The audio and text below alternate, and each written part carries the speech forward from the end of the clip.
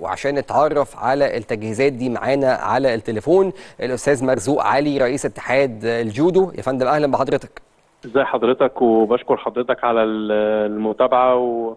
وإن شاء الله بإذن الله تبقى انتخابات تطلع باظهر أجمل صورة ويبقى بإذن الله.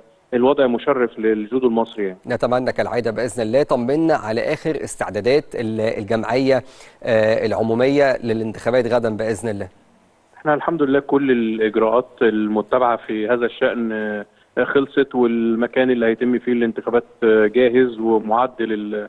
للانتخابات وإن شاء الله بإذن الله ال... الانتخابات تعدي على خير وكلنا نطلع أخوات وكلنا بعد ما نخلص طبعا. اللي ينجح يبارك لل... يبارك للناس كلها لأن هي إحنا منظومة واحدة وعيلة واحدة واللي هيتولى المنصب ربنا يوفقه وي... ويشيل المسؤولية. ويودينا للمكان اللي مصر تستحقه يعني. بإذن الله. آه وأنا بقول أسماء السادة المرشحين لاحظت إن مفيش لا نايب ولا أمين صندوق. بيتم اختيار المنصبين دول من داخل المجلس؟ لا هو إحنا عندنا اللائحة اللائحة بتاعة الاتحاد. هو رئيس وسبع أعضاء. م. هي اللائحة ما فيهاش ولا نائب ولا رئيس. إيه إيه سبب ده يعني؟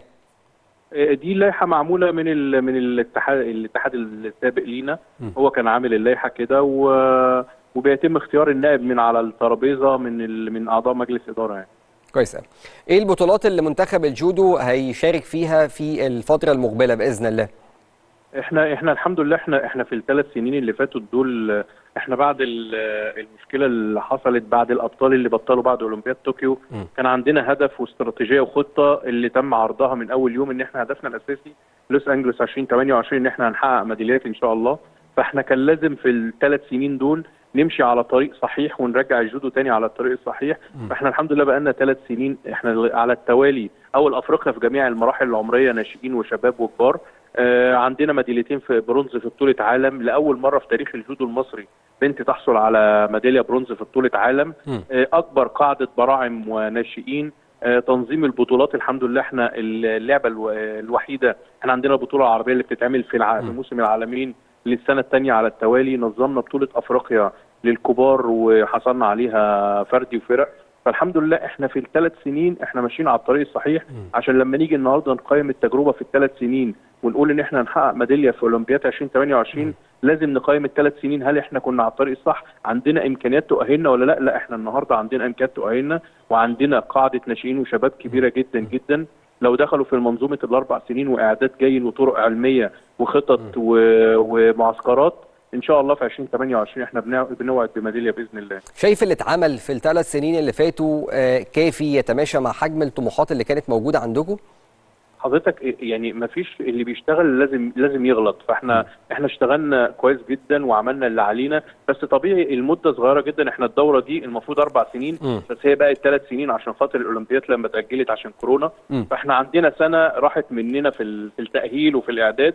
فده ممكن يكون اللي اثر أثر على الخطط عندنا شوية. لكن إحنا الدولة دعمتنا دعم كبير جدا جدا جدا ووفرت لنا كل الإمكانيات إن إحنا نحقق الطموح بتاعنا. بس زي ما بقول لحضرتك إحنا عندنا إحنا كنا بنبني ال- الأجيال من تحت لأن إحنا الجيل الكبير اللي بيلعب بقاله 20 سنة كلهم بطلوا بعد أولمبياد طوكيو. فأنا اللي فحصل كان عندي فجوة وما كانش الاتحاد فاطن ليها في السنوات اللي قبل كده.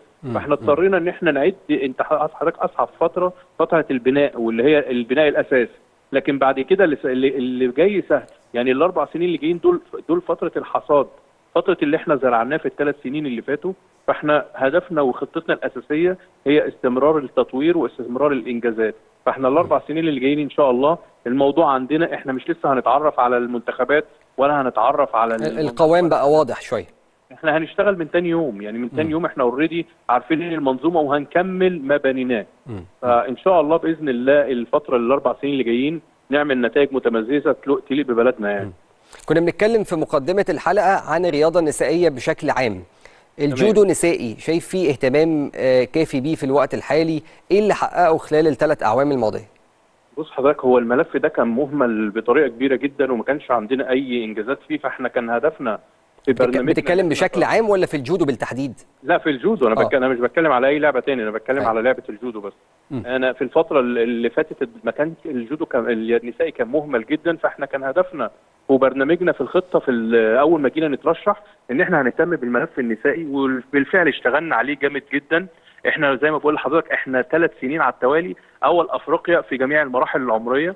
إحنا لأول مرة في تاريخ الجودو المصري إن بنت تعمل ميدالية برونز في بطولة عالم وده حاجة كبيرة جدا لأن البنت دي بنت المشروع القومي ولسه عندها سنتين في مرحلة الشباب. فدي لما تخش في المنظومة فترة إعداد أربع سنين دي بعد أربع سنين هتبقى حاجة تاني خالص وممكن تعمل ميدالية أولمبية إن شاء الله. ده المنظومة كلها بتتعدي كده. لسه طالع عندنا بنات كتيرة. ملف الجودو النسائي إحنا مهتمين بيه جدا جدا جدا. لأن آه، عندنا ميداليه البنات أسهل من الولاد كمان. فأنا ليه ما ادخلش البنات في المنظومة. وأهتم فعلا. بيها نفس الاهتمام بتاع الولاد؟ وفي الآخر هي بتحسب ميدالية أولمبية لمصر يعني.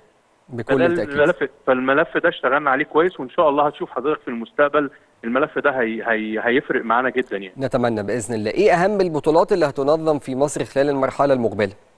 إحنا إن شاء الله بإذن الله إحنا بنسعى وهدفنا بنستغل علاقتنا. أنا أنا عضو في لجنة تطوير في الاتحاد الدولي ونائب رئيس الاتحاد العربي. فبناء على العلاقات إحنا بنحاول نجيب حدث كبير ما حصلش في مصر إن إحنا نستضيف بطولة عالم. فإن شاء الله لو ربنا بعد ما نخلص الانتخابات لو ربنا وفقنا والاتحاد الدولي وافق لنا إن إحنا ننظم بطولة عالم دي تبقى حاجة هايلة جدا جدا يعني. بإذن الله. كابتن مرزوق شكرا جزيلا ليك. نورت الدنيا. بشكر لحضرتك شكرا لحضرتك يا فندم. شكرا جزيلا ليك وطبعا كل التمنيات بالتوفيق لكل السادة المرشحين. وايا كان مين اللي هيكون موجود هيلاقي مننا كل ال- الدعم ونتمنى إن القادم يكون أفضل بإذن الله للعبه مهمه زي لعبة الجودو.